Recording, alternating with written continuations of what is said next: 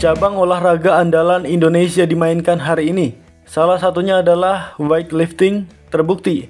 Hari ini Indonesia langsung mendapatkan 60 medali emas yang merupakan akumulasi perolehan sejak SEA Games 2023 dimulai.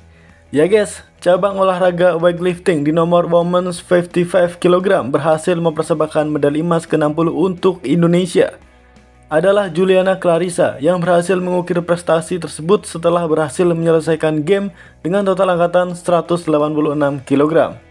Sementara itu, saat berita ini diterbitkan, sudah terdapat 5 wakil Indonesia yang memastikan diri lolos ke babak semifinal badminton di nomor individual. Mereka tidak lain adalah Rehanova Haryanto, Lisa Ayu Kusmawati, Esther Nurumitri Wardoyo, Komang Ayu Cahya Dewi, Ciko Aura Dwi Wardoyo, dan Febriana Dwi Puji Kusuma Amalia Cahaya Pratiwi. Sementara itu, empat wakil Indonesia lainnya masih sedang berjuang satu sama lain. Mereka tidak lain adalah Puspita Sari Alicia Rose, Pramudia Kusuma Wardana, Yeremia Erik Yoki Rambitan, Christian Adinata, dan Bekas Molana Soibul Fikri. Kita doakan saja semoga seluruh wakil Indonesia yang bermain hari ini lolos ke babak semifinal dan mengakhiri cabang badminton nomor individual SEA Games 2023 dengan mempersembahkan medali emas. Amin, amin, ya robbal alamin.